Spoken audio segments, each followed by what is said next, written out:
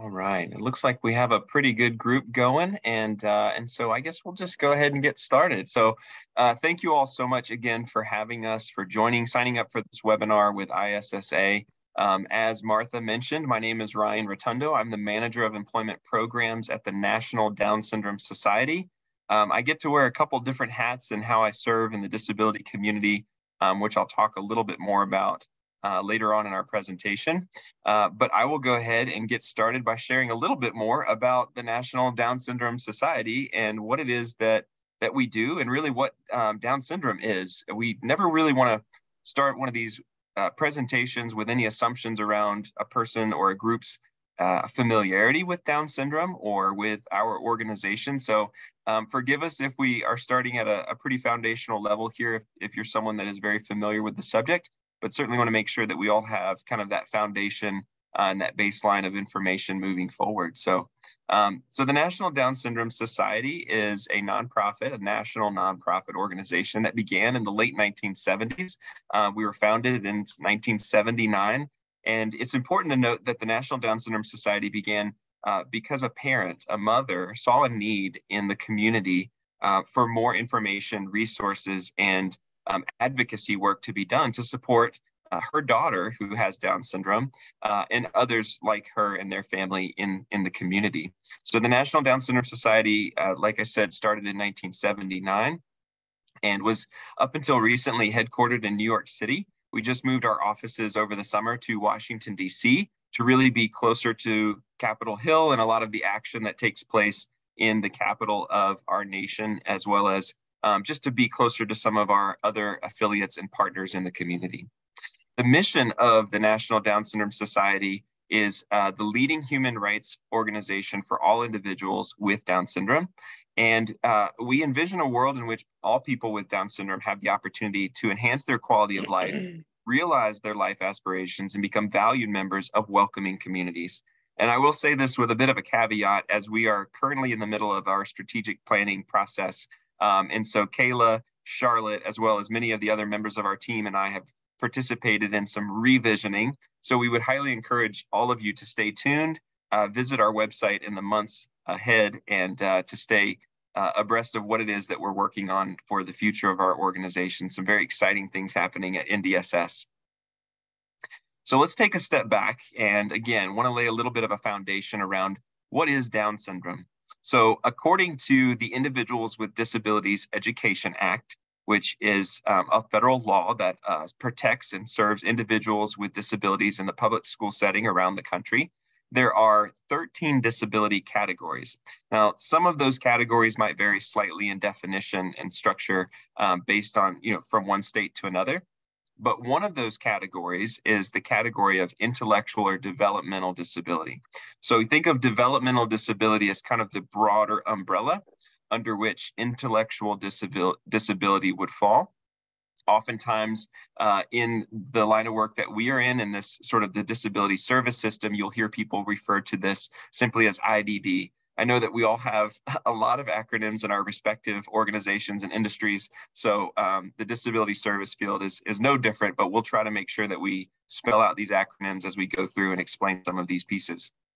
So intellectual disability is defined as a condition characterized by a significant limitation or significant limitations in both intellectual functioning and adaptive behavior that, and here's a key, it originates before the age of 22. So this is not something that is acquired. In many cases, an intellectual disability is something that an individual will be born with. Um, and a couple examples would be uh, Down syndrome, autism, Fragile X, and, and several others.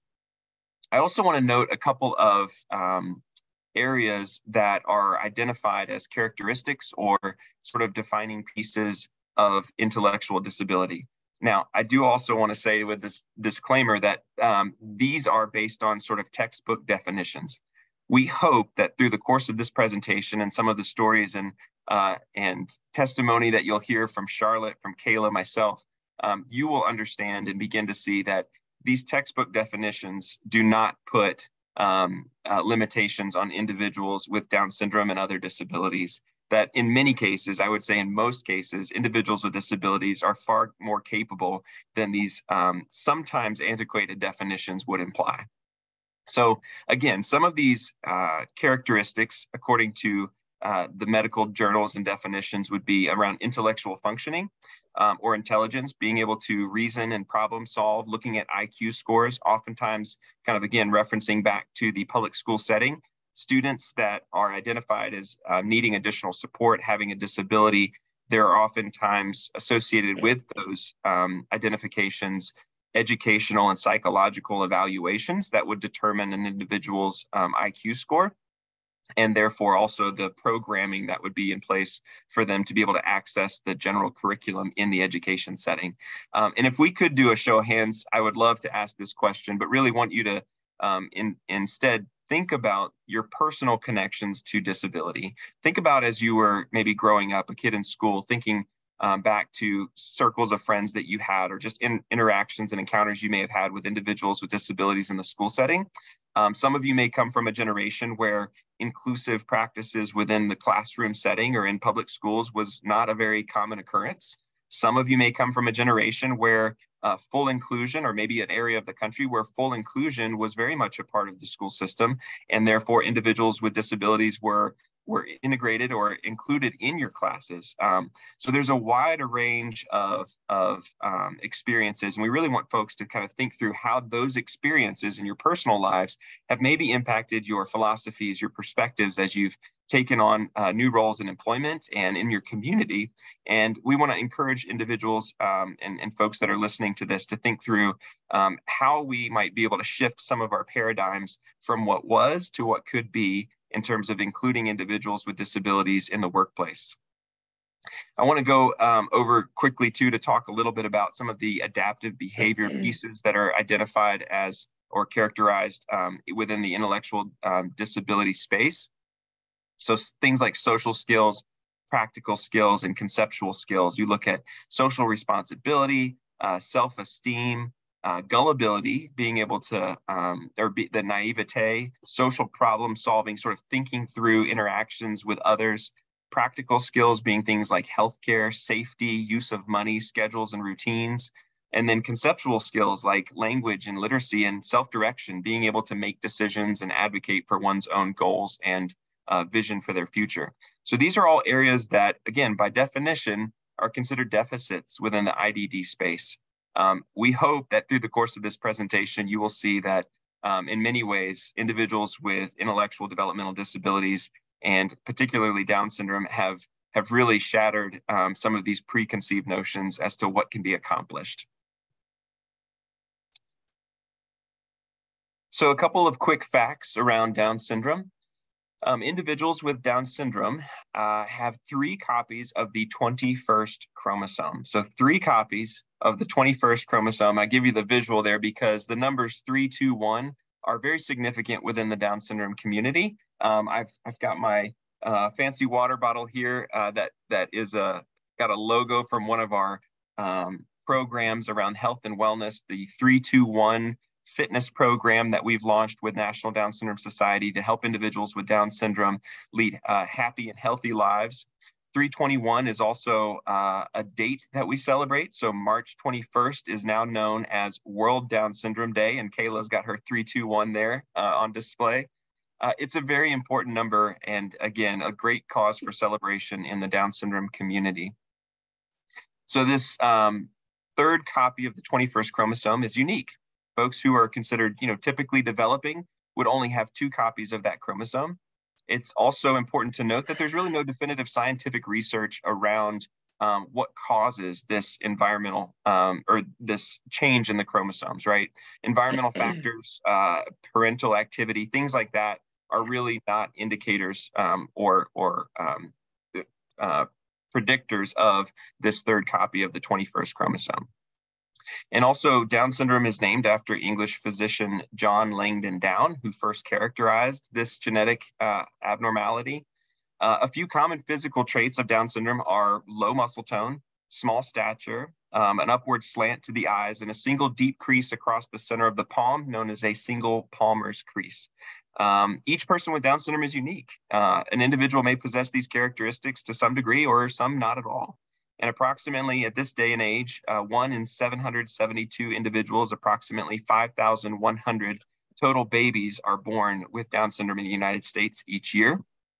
And it's important to note as we're uh, starting to, again, get more into our uh, ideas around uh, demystifying ability level and understanding that people with Down syndrome are capable of so much that individuals with Down syndrome can be included in their general education classrooms uh, with their peers. They can work in offices. They can own their own businesses. In fact, we have hundreds of, of uh, businesses that are either owned or operated by individuals with Down syndrome featured on the National Down Syndrome Society's employment program page. We love to shout from the rooftops these success stories and really highlight the great work that individuals um, and their families and their supports are doing in the community to really uh, share this mission of, of overcoming obstacles, but also just to, to really show what individuals with Down syndrome are capable of.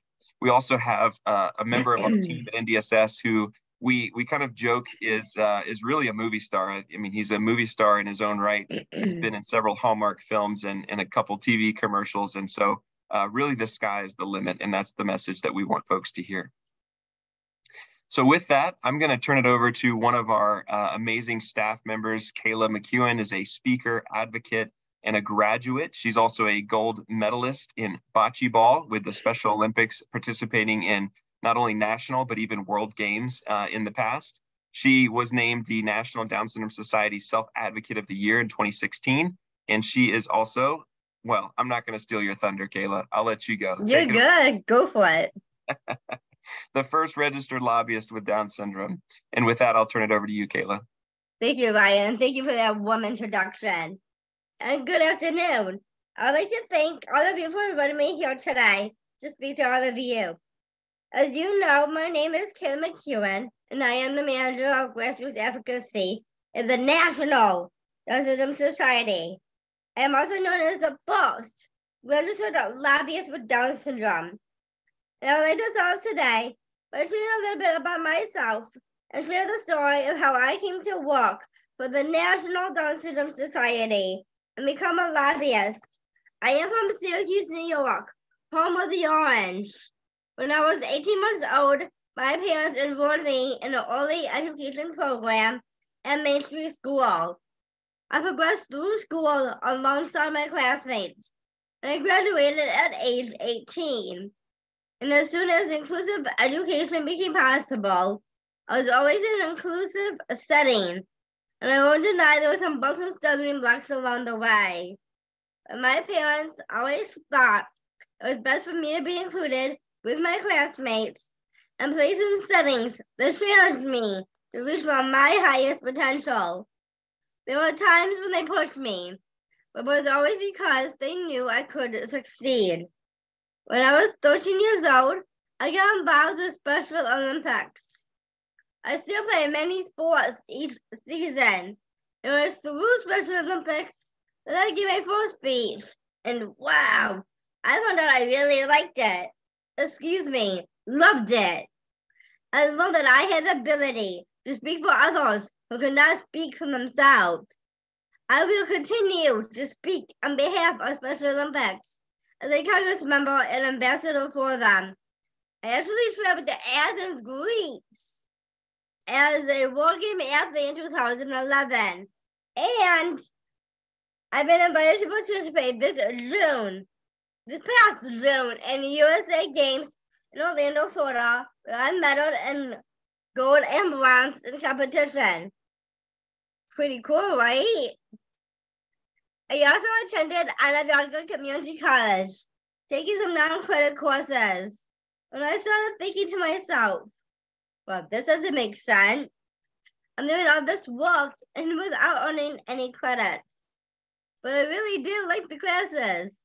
So I began taking one course per semester for credit. I can happily say after 12 fairly long years, I finally received my associate's degree this May, cum laude, and I graduated with my peers. I'm extremely excited. Can you tell?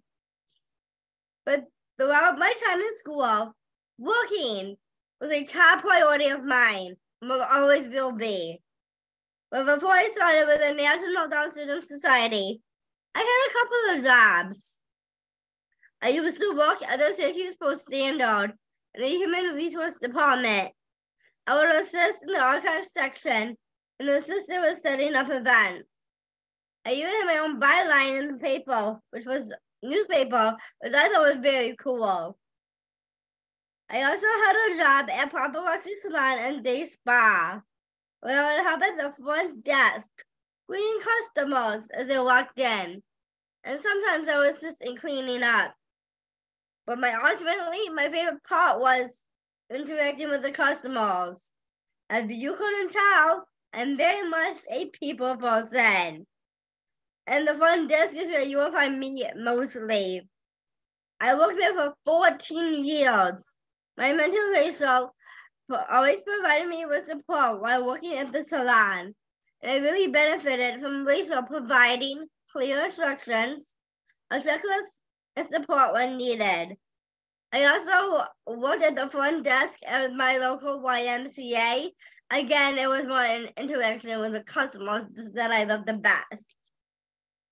But several years ago, I became involved with the National Down Syndrome Society as a volunteer while I was still working at the hair salon. In 2016, I was named the Self Advocate of the Year. In the meantime, back in Syracuse, I met John Katko, who was running for the U.S. House of Representatives. He handed me his business card, so I handed him mine. And he called me and said if he was elected, he wanted me to come and work for him. Well, guess what? He won and his election, and I became an intern in his Syracuse office. I took a lead on data entry and management. I also represented him at different events such as Citizenship Awards on his behalf. And I became a valued member of his office staff alongside my non-disabled co-workers. And I made friends within this, his Syracuse office. While I was interning for the congressman, the disability was definitely multitasking. I was also working at a local restaurant in Syracuse, here in Syracuse called Modern Malt, which is an electric buffet diner. I was the hostess, and my job I consisted of seating patrons and running food to the customers. That was my favorite part of Modern Malt. But as you can see, I keep myself very, very busy. In June of 2017, when I was working at the diner, and of course interning with the Congress representative. The representative asked me to go with him to a disability conference in Washington. I didn't realize at the time it was with the National Down Syndrome Society. It was there at the end of the conference, the NDSS, of me, my job of manager of grassroots advocacy. And you know what they say, the rest is history. I started working for NDSS in October 2017, and no, I've never looked back. And my role as a manager of grassroots advocacy, I am solely responsible of educating others and what people with Down syndrome are capable of doing and in lobbying to members of Congress to pass laws that positively impact the Down syndrome community. I have spoken to elementary schools, middle schools, colleges, and my personal favorite, the School of Nursing. I try to motivate them to do the best that they can do. My message to kids is to persevere. When I deliver speaking engagements, such as this one, I speak about education, employment, my accomplishments, my self-advocacy, and now legislation that affect all of us with disabilities. I have a passion for speaking and motivating others to try their best never give up. I tell people that Down syndrome is not a sick diagnosis. I tell them that we are living proof of much more than what is expected of us and other things that we are capable of doing. I tell them about my friends who own businesses that are thriving, like John Cronin of John's Crazy Socks, or Blake Pyron who owns Big Snow Shack in Stango, Texas. Kerry Bordelon, who is a third degree black belt in karate. Watch out! I tell about the girl who got dream job at Target. I could go on and on. If we did that, we'd be here all day. And I think we have a couple more speakers after me, so I won't do that to you. But we are exceeding the expectations every day. Please don't limit us. Don't squash our dreams. Down syndrome doesn't stop us and never stops us. It is some old antiquated laws and mindsets that hold us back. I love being a self advocate, sharing my voice. I love living on my own. Can you tell? Having my driver's license. Being in a committed leadership with my loving boyfriend. Absolutely. But most of all, I love working at NDSS, owning a paycheck, because we are more alike than different. And thank you again for having us to speak with you tonight. And now it is my pleasure and esteemed colleague to pass it over to our very own Charlotte Woodward. Charlotte? Hello, everyone. My name is Charlotte Woodward.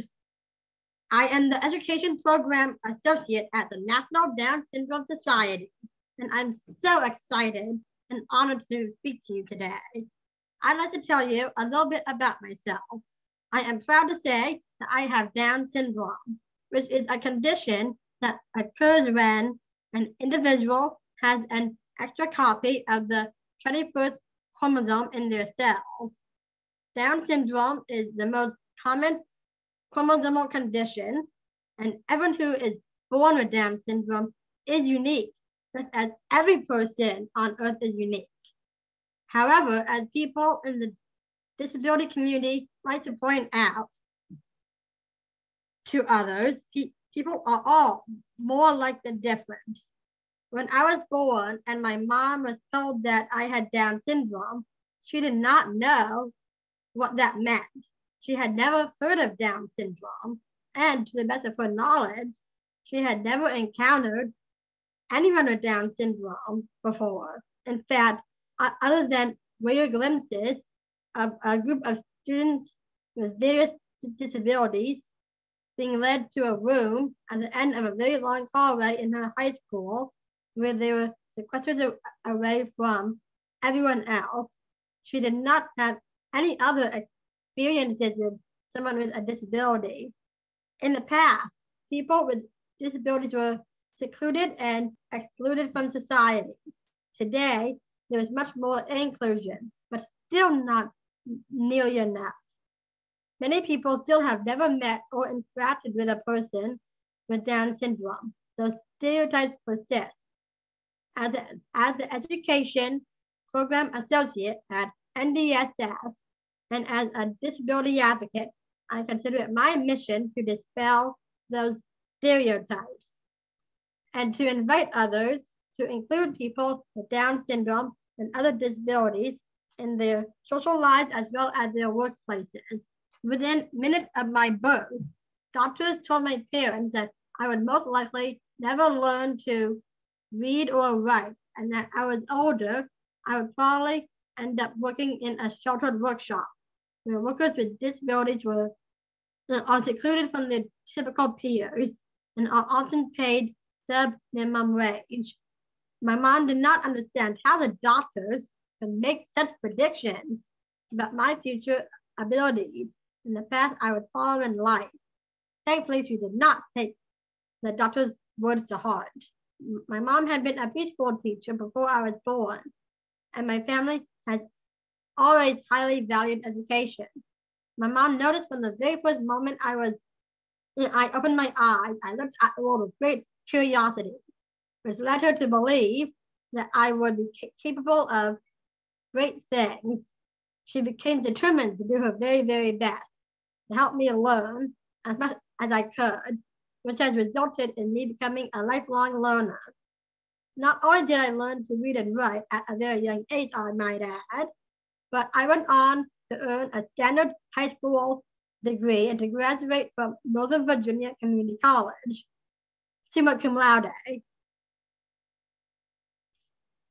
I then transferred to George Mason University, from which I recently graduated, again, summa cum laude.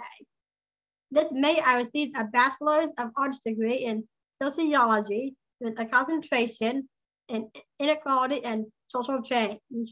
My studies and my work perfectly complement each other. As a, as a sociologist, I examine society's stru structural and systemic inequalities, and as an advocate, I use this knowledge to try to bring about positive change.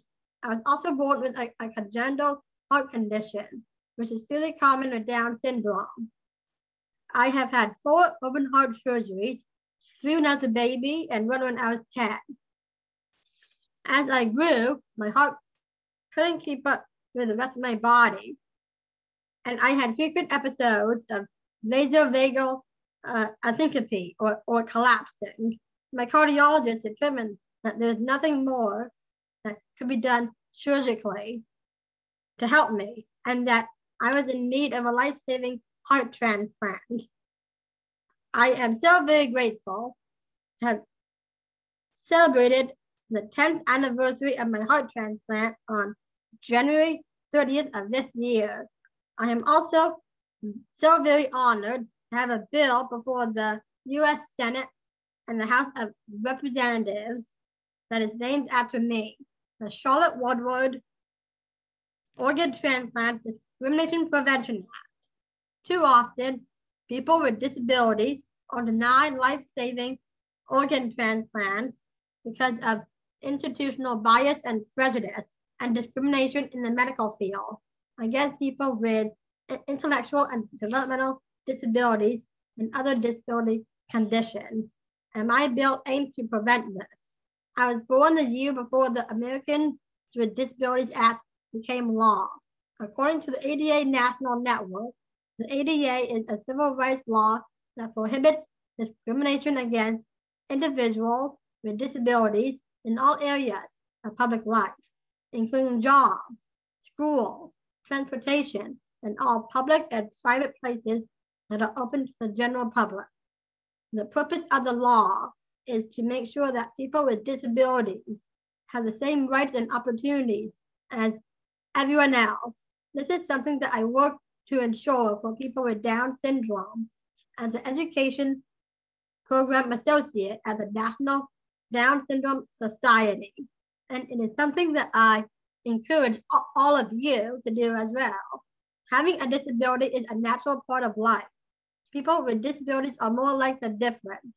People with disabilities, including those with Down syndrome, have the right to be proud of who they are, to be treated with dignity and respect, and to be included. You, you can check out NDSS employment program section on the National Down Syndrome Society's website at ndss.org. And you can find resources uh, which include information on ABLE accounts, employment and volunteer work, and employment webinars such as this one, uh, and financial wellness guide. Other topics that you can read about are partnering for career success, resume information, a guide me and watch me succeed guidebook, employing individuals with Down syndrome, a sub minimum wage guide, COVID-19 employment tips, etc. Inclusion in all aspects of society is so very important. When my mom was younger, people with disabilities were secluded rather than included, which is why she had never known anyone with Down syndrome until she had me. And it is why she had never met any students with disabilities at her high school because they were sitting away from their non-disabled peers. I would like to emphasize that segregation and isolation does not equal inclusion. The world is a better place for where everyone is able to participate and contribute to the best of their abilities. We can all learn from each other. I can learn from you and you can learn from me. We all have inherent value and worth. We all have unique gifts. We all also have our own strengths and challenges, as well as unique learning and working styles that should be celebrated and explored. This is why people with Down syndrome deserve to be paid a living wage. According to the NDSS resource called Valued, Able, and Ready to Work, employing individuals with Down syndrome, having people with Down syndrome as employees benefits their colleagues in terms of boosting workplace morale and fostering friendships. People with Down syndrome are loyal, hardworking, determined to succeed, etc. Where they are in, included in, in their workplace. As a result, this creates a workplace environment where people with Down syndrome love to come to work as it fulfills and stimulates them and gives them the opportunity to do things that they care about. My very first paid job was as a bagger at a local grocery store one summer during high school years. While the job gave me the opportunity to gain experience to demonstrate that I was responsible, to learn how to work hard and interact with others, it was not especially stimulating or fulfilling. I was paid minimum wage, but I knew my worth and value was far greater than that. It wasn't something I saw myself doing long term. I also got experience through volunteer work. I enjoyed volunteering at a local hospital and at a local library. By volunteering, I gained important skills which prepared me to go on to paid employment. In 2017, I was introduced to the National Down Syndrome Society, where I was asked to be the Grand Marshal at my local Down Syndrome Association of Northern Virginia Buddy Walk, which is a Down syndrome awareness walk. I remember an NDSS campaign and pop-up restaurant called C21. It was designed to show that people with Down syndrome have unique barriers to employment, that no one should be defined by their disability, and that employees with disabilities deserve to earn at least the federal minimum wage Unfortunately, some companies still pay people with disabilities less than the minimum wage. I attended the DC golf event hosted by NDSS, where I submitted my resume to Colleen Hatcher and our current president and CEO, Kandi Pickard. I'll never forget that my now chief of staff and I sang the Lizzie McGuire song, This is what dreams are made of uh, in December of that year, I signed my official employment contract with NDSS. I met so many great people in the organization when I was invited to attend the holiday party.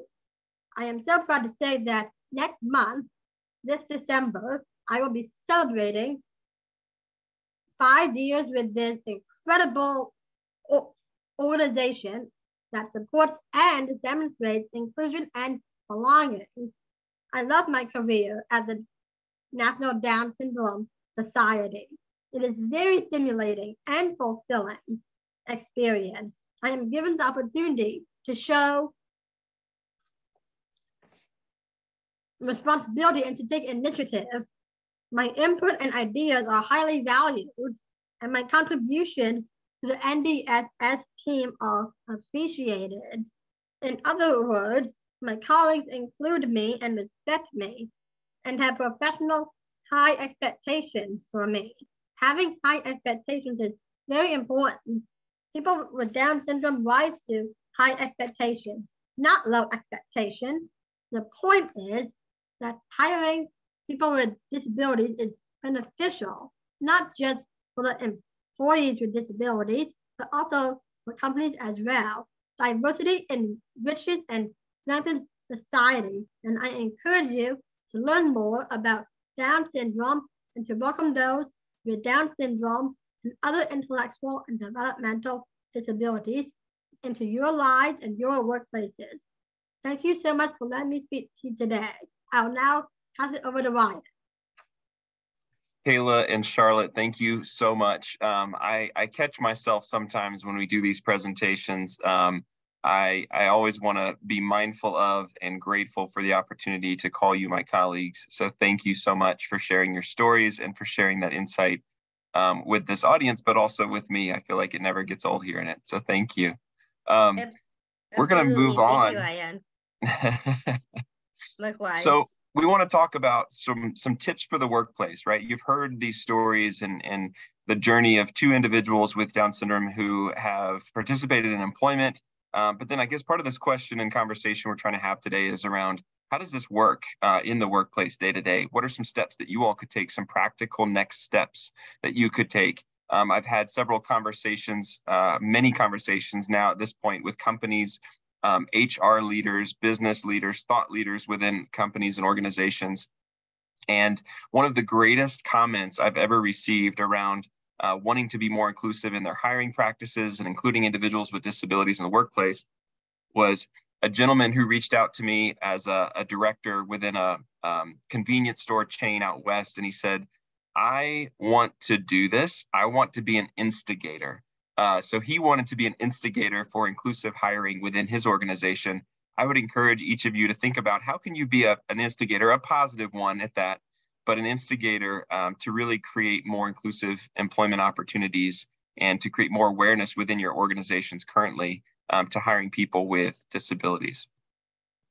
So one of the sort of easiest uh, inroads that I like to share with folks is, is around language.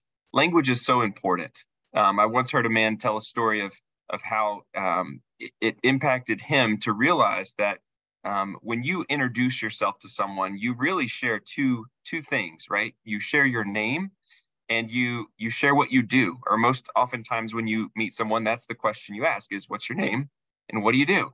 Um, and we find that language is so important, right? How we articulate our sense of belonging and and how we are a part of an organization or how we get to carry out the work that we do day to day is very, very important. And language specifically having to do with how we refer to individuals with Down syndrome and other disabilities, but we'll focus on Down syndrome for this slide, is also very important. So traditionally within the Down syndrome community, we use um, something that's referred to as people or person first language. That is to say that we refer to an individual with Down syndrome first as a person and then as uh, a person with Down syndrome, right? So some examples you'll see on screen here. Um, we might say instead of a Down syndrome child or a Downs child, it should be a child with Down syndrome. Uh, also making sure that we're not describing this as uh, Downs with an apostrophe S. You can see down at the bottom here that that spelling has sort of evolved over the years, but really not giving that um, that possessive uh, uh, description of Downs to uh, Dr. Langdon Downs, who, who again first categorized or discovered um, this characteristic, but but really referring to this as Down syndrome um, just for his namesake. The S in syndrome is lowercase, again, de-emphasizing that this is some sort of an ailment um, for people who live with Down syndrome.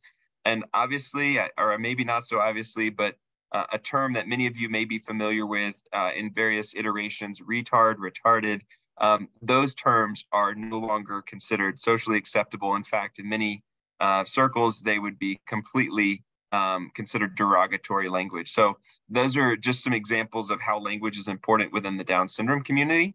And we'll segue into a conversation around language in other parts of the disability community. So it is important to note that uh, currently language is, um, is, is sort of different based on the disability that you're referring to, but also the preference of the individual. So within, again, the Down syndrome community, people first language or person first language is considered most appropriate and acceptable.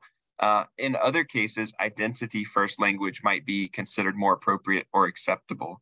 And uh, I'll give you an example within the autism community. People most likely would like to be referred to as autistic, or you may hear a loved one, a parent, maybe a sibling say, my autistic brother. Again, that's not people first language, but that is the preferred language of that community.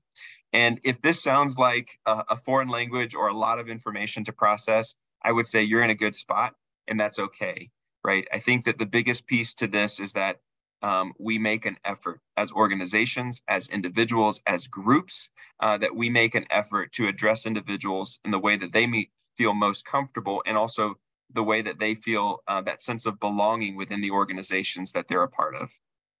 So that's an easy sort of starting place for having this conversation around including people with disabilities in the workplace. I will add that another uh, key for uh, workplace success for individuals with Down syndrome and other disabilities is to have a, a, a workforce a culture of modeling positivity and authenticity and respect. Um, again, you've heard from some ladies that I get a chance to work with Charlotte mentioned this, Kayla mentioned this, that they both feel respected at the National Down Syndrome Society. I will say that our staff is comprised of about 25% people who identify as having a disability. Um, that is intentional. We want to make sure that we are modeling this positive example that we want other organizations to, to uh, embrace in their culture and in the community. Also connecting with individuals on an individual level making sure that you're taking time as a as an HR staff or as a um, CEO or um, CFO that you're taking time to get to know the individuals that you work with, regardless of what disability or um, ability level they they have. Um, that we're continuing to engage with individuals about hobbies, about um, things that they enjoy doing outside of um, again just that disability also establishing clear expectations and priorities and sometimes it's required or or necessary to reestablish those expectations and priorities to make sure that everyone's clear and on the same page about what's expected of each person in their role within the organization. Accessibility is also a key.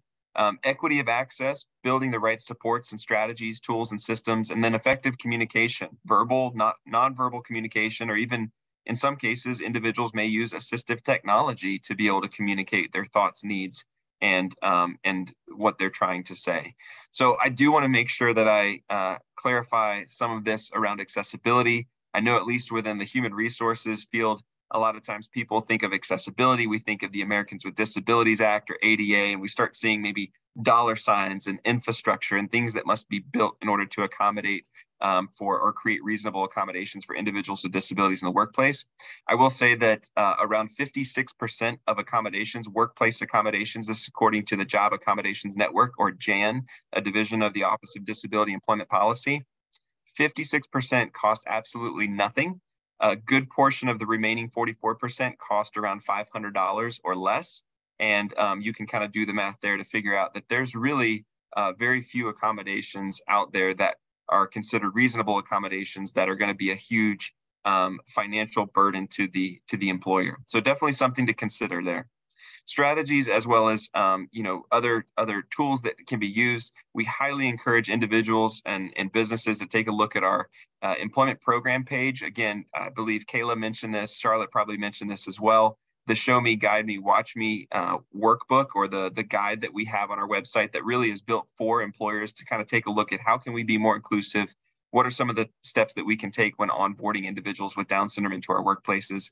Also thinking of other strategies that could be really based on universal design. That is to say that they are could be beneficial for everyone in the organization. Think about visual guides ways of representing information and tasks uh, or directives that can be done in a, in a very um, visible, visible or visual way. Um, when we talk about universal design, you think of something like a curb cut, right? Those are ADA uh, required. And that curb cut serves certainly individuals who um, use wheelchairs. That curb cut is also something that I like to see when I'm riding my bicycle through town um, because I know that that's a pretty steep drop off the curve. So that that curb cut can be, um, again, universally designed and beneficial for all, just as some of these other strategies can be um, designed and benefit all within the workplace. So think about this for just a second. It's kind of an exercise. Again, I'm not going to do a call and response here, but as you're listening to this, think about what is uh, what are some of the characteristics of exceptional employees? Being on time, right? Bringing your best effort to work, being coachable, being being able to take constructive criticism and feedback use that to better your craft or your skills or your approach to the work that you do, having a positive attitude, being prepared for work, treating others with respect. And we could continue with this list, kind of creating your own in your mind, maybe as you're listening to this. I want you to think about that uh, list of characteristics of exceptional employees. I want you to think about some of the testimony, the stories that you've heard today already, and think about is this something that's defined by a disability? I hope we can all agree that it's not. exceptional employees are not defined by a disability. They're defined by how they show up, how they treat other people, how they're willing to take that constructive criticism or take those directives and be able to apply it to the work that they do in the best way possible to really generate uh, not only a, a tremendous product or outcome within the technical work that they do, but also generate that positive workplace culture that other people want to be a part of. So the disability employment landscape, we are not here to sell you on a sob story, but I do want folks to understand the current landscape and some of the um, barriers to employment that individuals with disabilities face in our country. Currently, the unemployment rate for persons with disabilities is approximately 10%. That's nearly double that of persons who do not identify as having a disability. Employment population ratio for people with disabilities ages 16 through 64, which is that employment uh, employable range, employability range, is 31.4%. People with disabilities earn on average 63% of what their non-disabled peers would earn. And less than 20% of working age adults with disabilities were employed. And this is uh, data from 2021. So some industry trends that we think might be a, a good uh, lens to look at when we're speaking to businesses around being more inclusive in hiring practices. Persons with disabilities were more likely to work in service occupations, about 3% more likely. Workers with disabilities were also more likely than uh, those with no disability to work in production or transportation, material moving occupations, right? Almost 2% there. And workers with disabilities were also more likely to work in sales and office occupations. Again, close to 2%. So these aren't necessarily trying to, you know, point to or pigeonhole a particular industry, but these are definitely some, some markers, some indicators uh, that might be beneficial when company leaders are thinking about hiring individuals with disabilities. A couple other key pieces, and these were alluded to by my colleagues a little bit earlier. The benefits to companies.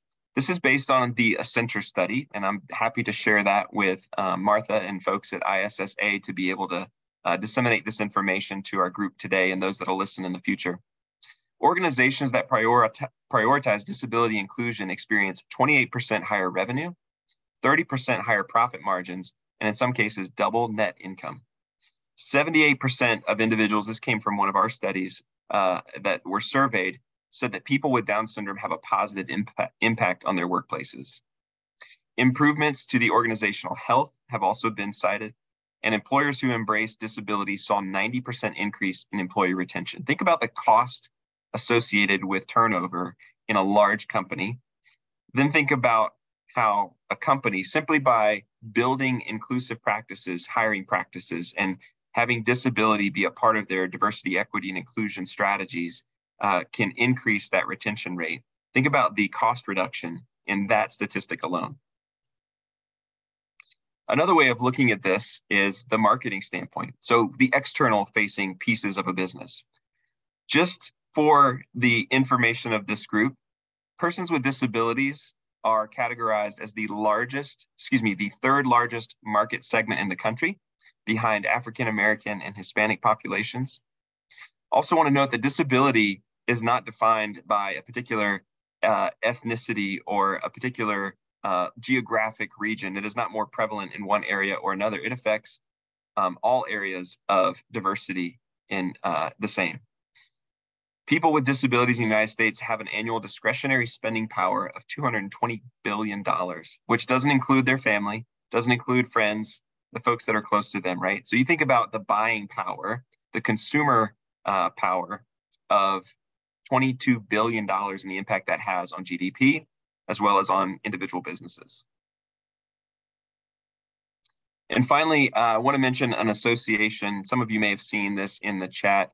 Uh, the National Down Syndrome Society uh, is one of three founding members of an organization called the CEO Commission for Disability Employment. So about five years ago, uh, NDSS got together with Voya Financial and the Society for Human Resource Management, understanding that uh, disability inclusive hiring needed to be um, a, a major part of company culture all across the globe, but starting in the United States. So the CEO Commission for Disability Employment uh, is really leading the way to a more inclusive workforce. We have grown over the past couple of years um, from our, our founding members to now 22 members. We are represented uh, by businesses, we like to say from Main Street to Wall Street, companies that are, you know, traded, uh, publicly traded companies, Fortune 500 companies, and companies that are even owned and operated by individuals with disabilities. And that creates a very unique perspective. We want to make sure that um, as the uh, the motto sort of for the disability rights movement goes, nothing about us without us. We want to make sure that we have individuals with disabilities at the table when we are looking at ways of impacting um, inclusive employment through policy, practice, and, um, and relationship building. We would highly encourage you all to check out our website. Um, obviously, we've shared a lot with the National Down Syndrome Society, so www.ndss.org, but also you can visit and learn more about the CEO Commission at www.ceocommission.org. So with that, we will open it up for questions. I think we have just a few minutes here and would like to ask that you, if you do have a question, you could put that in the Q&A um, chat.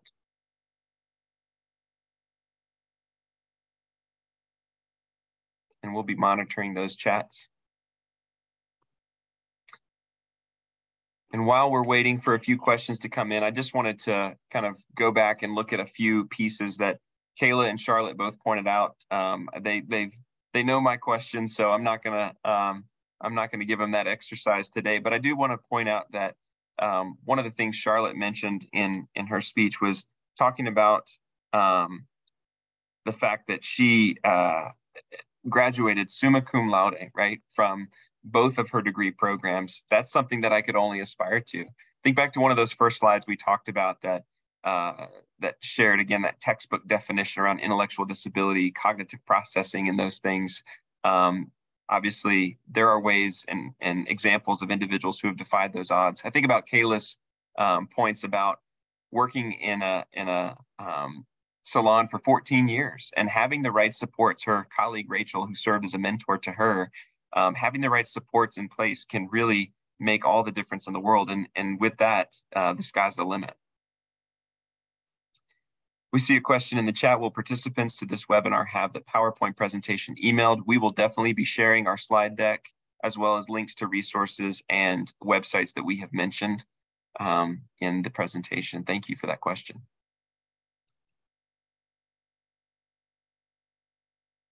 There's another question around financial, excuse me, uh, local resources to employ more individuals with Down syndrome. Is there a database? Great question.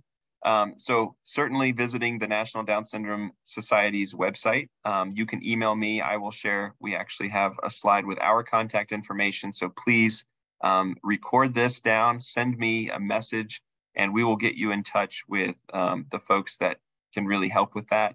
We do have a network of about 300 local Down syndrome affiliates around the country that we leverage in cases where we know employment opportunities um, are available, and we want to connect folks directly to employment ready um, and working age individuals with Down syndrome.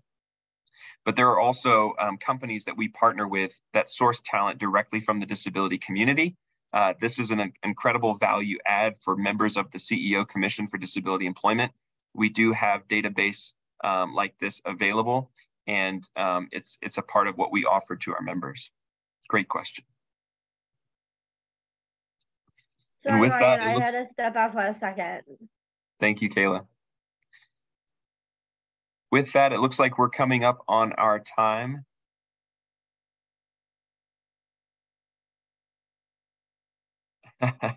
Great question. So, uh, yes, question thank was, you, Jeff. How do the um, ladies, Charlotte and Kayla, stay so enthusiastic? I'll I'll let you all answer that one. Go ahead, Charlotte. I will be remiss if I did let you go first. Okay, thank you. Um, it really comes down to, you know, having uh, courage and faith and hope and all that, though there are times when uh, when I uh, don't feel that way uh, and uh, get frustrated um, about the, uh, lack of taking action on dis- a, a, a, disability rights that that I feel down on myself. I try not to get that way, but um, uh, the majority of my life has been that way. when I first started Special Olympics and I get my first speech, this way I found the confidence to speak and speak on behalf of everybody else. So also my confidence. My mom always said I'm stubborn, which is always true. Um, that always kept my my enthusiasm, and I will continue to have it no matter what the case may be. Thank you, Jeff. We will. I want to just add a quick thought here too. I think a lot of times um, this is a part of a stereotype that I hear a lot, maybe just where I live, my part of the country, that individuals with Down syndrome, um, or maybe even the term Down syndrome comes from a person feeling down.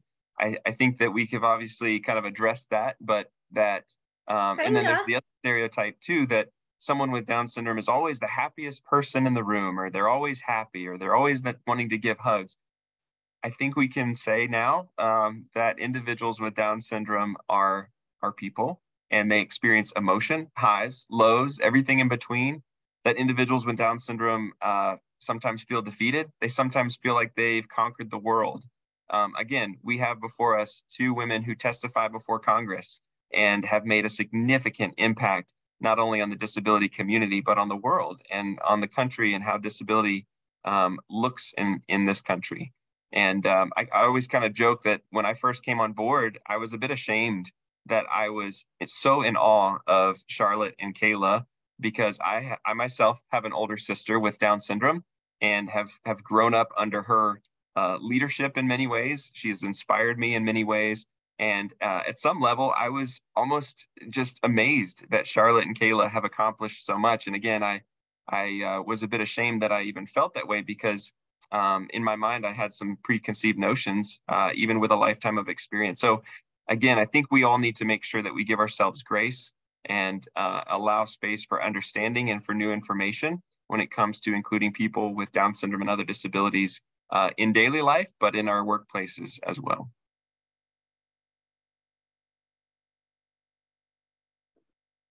All right. Well, it looks like the chat has slowed down. Um, Martha uh, I know Jeff is kind of behind the scenes uh, to the folks at ISSA. Thank you so much for having us, for hosting this webinar. Um, to my colleagues, Charlotte, Kayla, thank you so much for joining me and really carrying the team here.